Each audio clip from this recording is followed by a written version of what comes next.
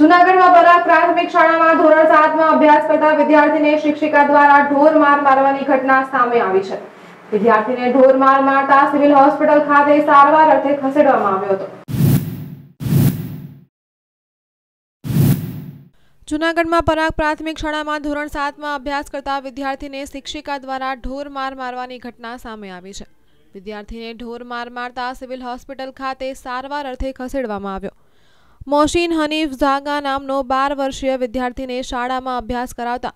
શિક્ષિકા કિંજલબહેને આંખ અને માથાના ભાગે માર મારવામાં આવતા વિદ્યાર્થીની હાલત લથડી હતી.